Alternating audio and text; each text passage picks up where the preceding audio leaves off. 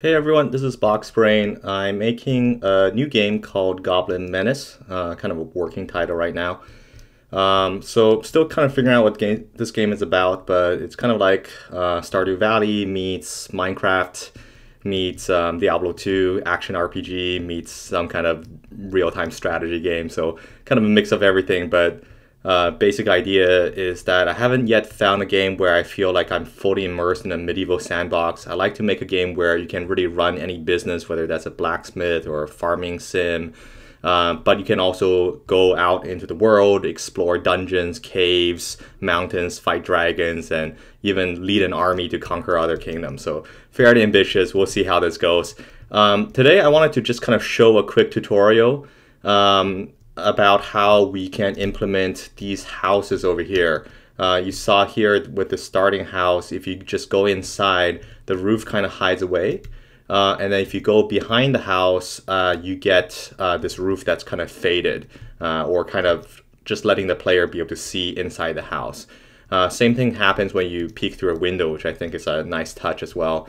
and if you go inside, then you get to see the interiors of the house. I feel like this type of building design is the most immersive. You're never like taken into a loading screen uh, and changing scenes to the whole separate environment just for the interior of a building. You can still see outside the building um, and the whole world, whether you're inside a house or out in the world, it's the same world. You know, you're never kind of leaving the you know the environment. So I like that immersive element of this type of design.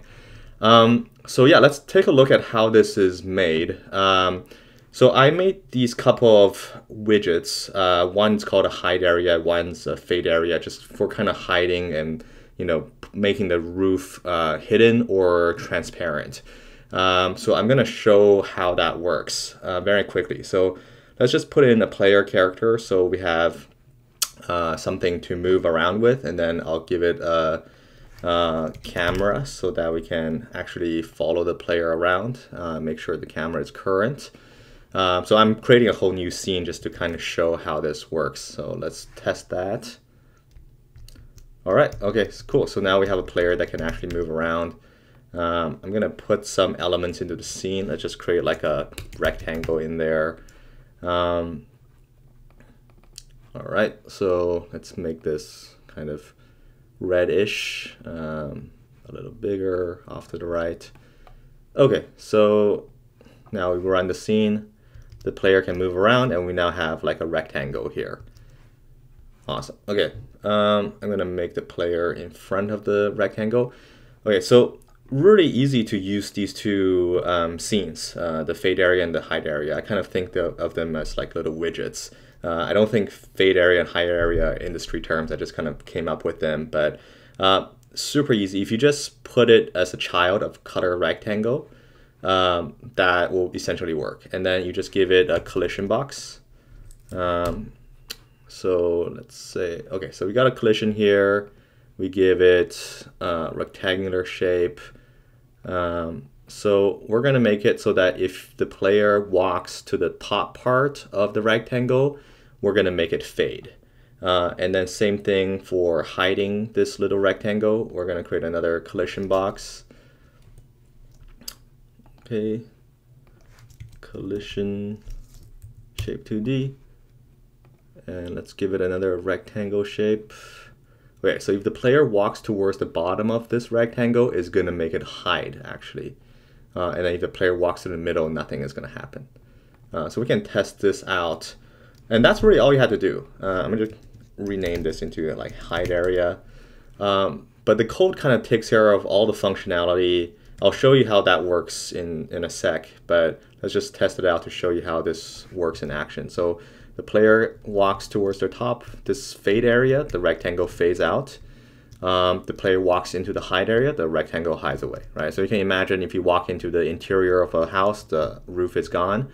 And then if you walk underneath the roof outside of the house, the roof is faded. All right, super easy. Uh, very once you make these things, they're really easy to use.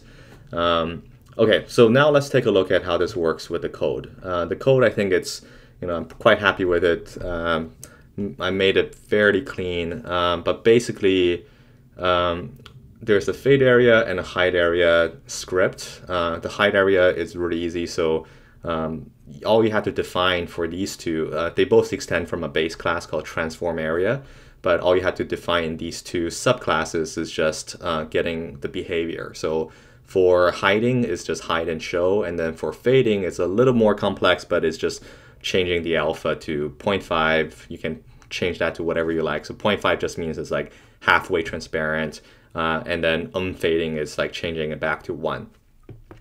Um, and I added this little recursive loop here because um, sometimes you're not, um, so by default, it will make the parent node fade in and out, but sometimes the parent node doesn't have a fade behavior.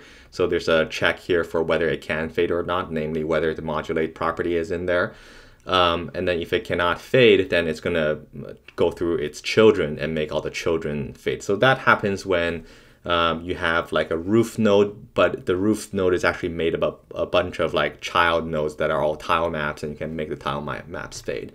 Uh, but most of the action actually happens in this base class uh, for transform area. Um, so let's take a look at how that works. All right, so yeah, I the transform area is also fairly simple. Um, so uh, it just basically connects. Uh, it you know it's the script is attached to uh, area 2D, so it just connects the signals it emits to itself uh, for body entered and body exited. Um, and then when uh, the a body enters, it checks if it is the player, and if it is the player, then um, it performs some kind of action on the parent, uh, transform action on the parent. Uh, and so in this base class, these are just uh, kind of abstract methods. They're not defined. So it's on, only in the subclasses that those transform methods are uh, defined. So for something like hiding, it just defines it as being hi- hidden and shown. Um, and so that just means that if the player walks into the area, it will hide it. And then if the player walks out of the area, it will show it. Uh, what's nice about this is that um, all of the signals are already handled in this kind of ready method here. So you don't have to go into the area 2D and try to attach the signals or have to deal with that. All you have to do is drag and drop this scene underneath whatever node um, you want to fade or hide. Um, just make it as child.